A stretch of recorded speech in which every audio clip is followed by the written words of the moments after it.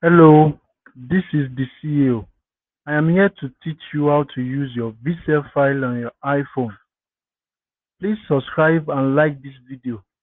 On this channel, I will also teach you how to monetize your WhatsApp status. Thank you.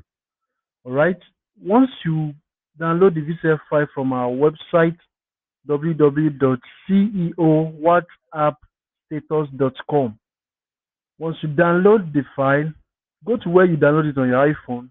Just click on the file, click on the upload icon. That's the upload icon there. Then click on contact and click on save. Just go back to your WhatsApp. You will have seen all the contacts on your phone, everything. Like on our website, we per set, what we do is we give out 250 contacts at once per set.